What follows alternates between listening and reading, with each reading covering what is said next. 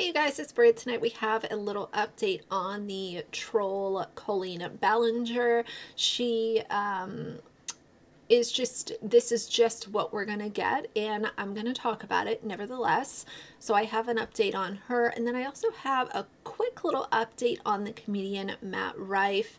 He is now deciding to pick fights with children on the internet. So if you're interested, please keep watching.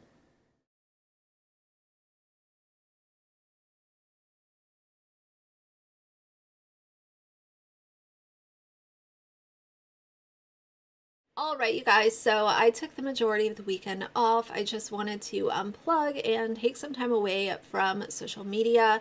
Um, sometimes you have to, you know what I mean? And I feel like, you know, the holiday season and stuff, there's just so much happening and so much going on that um, it, it, felt like the right time to take some time off and uh, kind of regroup. So my next few videos will most likely have multiple topics topics in them. Hopefully that's good with you guys, but I am now trying to play a little bit of catch up and uh, just cover everything that I want to cover. So let's talk about Colleen as I charge my computer. Um, Colleen put out this video on her vlog channel, which is not doing well. The update was I got so many comments like this with with a you know like the whining emoji and I would like to note that that video did get her over 100,000 views.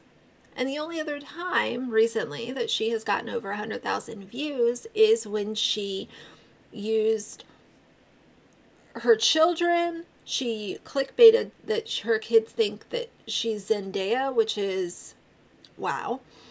She talked about the last Miranda shows where she breezed over talking about her being canceled. And aside from that, even she even tried to use her Taylor Swift uh, "Copy Me" that didn't reach hundred thousand. So I guess the next day she figured, let me clickbait everybody and piss people off again. And if you're wondering what comments she got so many of, no, it's not the actual comments that she deletes where people are calling her out, telling her that she has yet to take any accountability, yet to, um, you know, issue a proper apology, apology to the people that she negatively impacted or anything along those lines. The comments that she wanted to address in this video are that she uses apple cider vinegar in her deviled egg recipe. I am not making that up. I am not, not exaggerating it. I will insert a clip so you guys know what I'm talking about.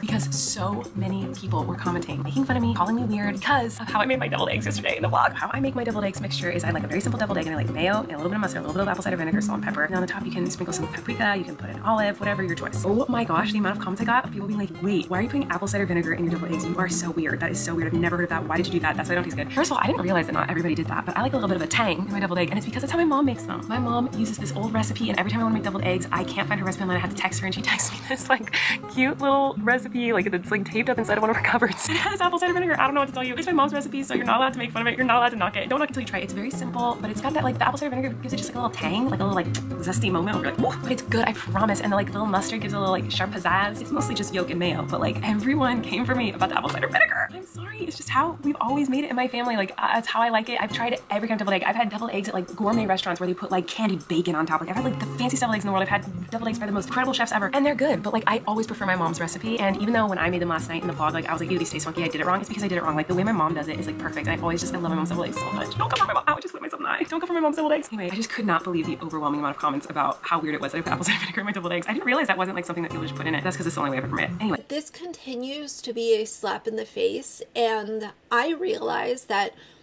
some people are, you know, choosing to just kind of like let Colleen do what she's going to do, and that's okay.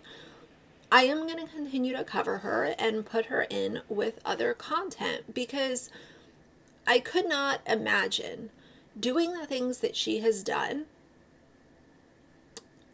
and then being such a troll about it and clickbaiting it and continuing to tell people, you know what, I'm not going to say F you, but F you guys.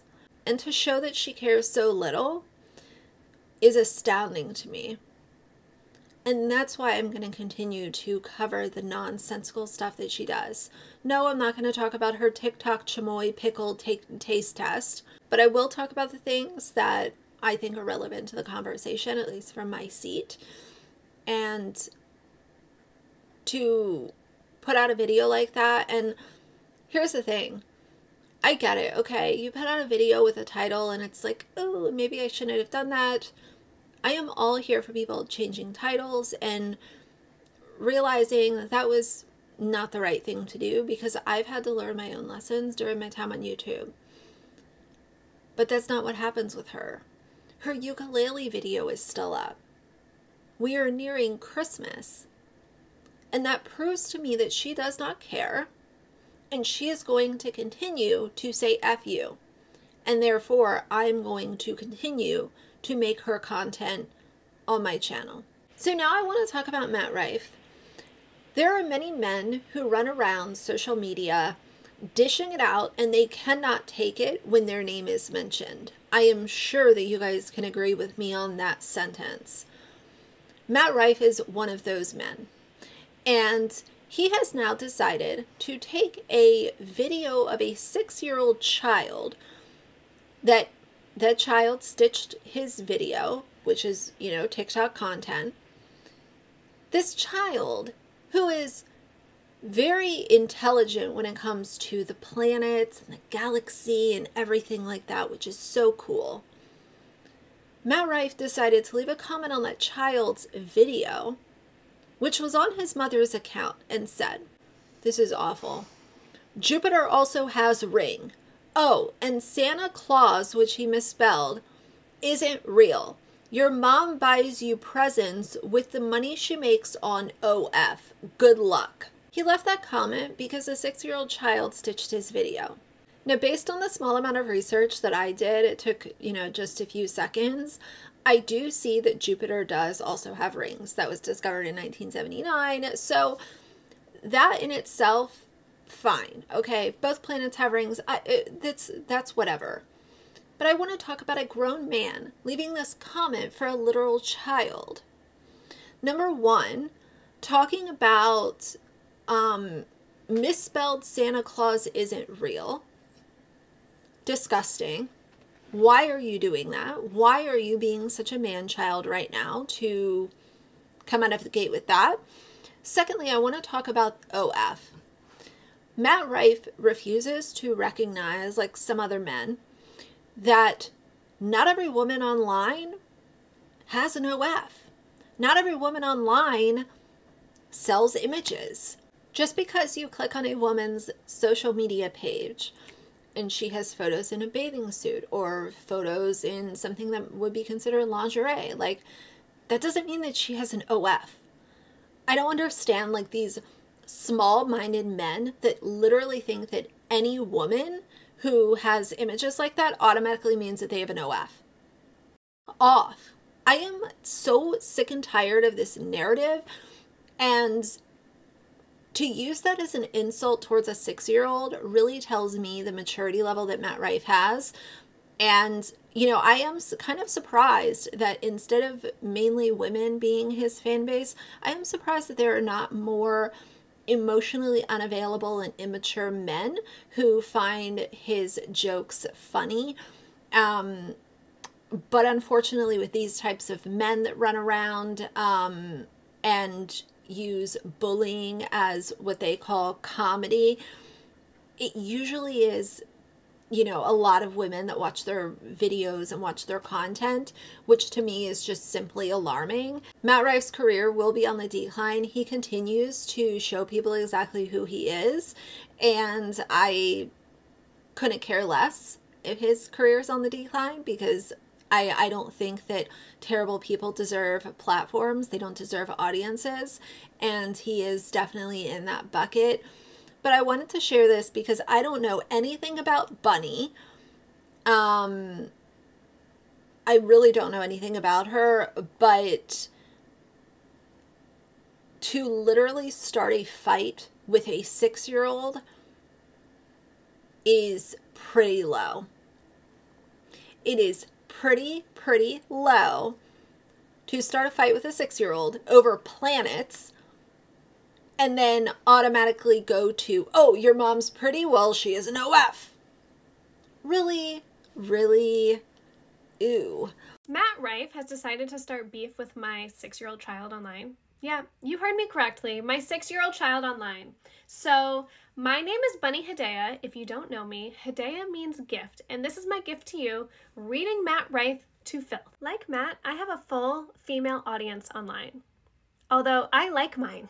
I don't want the men, You can keep them. Please. I will gladly take your audience because we know you can't satisfy them anyways. This all started when his comedy special, which if that's what we're calling comedy. The things he said that weren't even funny were posted on TikTok, and I started being tagged in them because everyone knows that my son is like a genius and he's really into space. I fiercely protect my child online. I'm not a family channel. People know his name, they know he likes space, they know he likes Minecraft, and that's pretty much it. Most people do not know any personal details about my child. And because of that, and because I have such a large audience, when I see people in person and when people see space clips, they tag me in them because they know that that's what he likes. This is the video that I posted. Nothing to do with the stars, man. Just because Jupiter has a ring and you don't doesn't mean. Actually, it's Saturn has the rings, and it has more also, and you're mean to girls. I am not the type of content creator that usually talks about other people or other things for views. I focus my content only on me because guess what, Matt? I'm interesting enough on my own. But I also didn't pay for my looks, so that's not really what people follow me for. You look to the video on here, you can see that all the comments were like, oh my god, he's so smart, he's so cute, like, oh my gosh, yeah, girl power. you, he's not tagged in it. I have no connection with him and it was posted on a Netflix page. While you clearly took a lighthearted video and turned it into fighting with a six year old, let's talk about the comments that you said about me. This is my IG where he left the comment, okay? Do I look like I don't even show my body? For you to assume that every single woman online makes money by showing their bodies, which, like, if that's what you do, girl, do you. Like, love it. I have never made a single dollar from a man. Audience is female, female, female, female, and a little bit of the gays and nays. You can't accept the fact that people may like women for their personalities. No, you, we know you don't have one. You stick to circle jerking, the men that you need validation from, and I will gladly take your female audience that you so desperately want to get. You know it hurts because I'm richer than you, and I didn't have to pay for a Forbes article to fake it. And I really wish you luck on what's left of your career, but keep my child's name out of your mouth. We can do part two. I need to catch up with other filming, so I'm going to go ahead and proceed on. But that's the deal with Colleen, and that's the deal with Matt Rife Pike picking a fight with a literal child. What a world. What a world we're living in. But either way, I think that's enough for today. So for now, if you like the video, please leave a like and a comment. And if you'd like to see more from me in the future, please subscribe. I'll see you guys soon. Bye.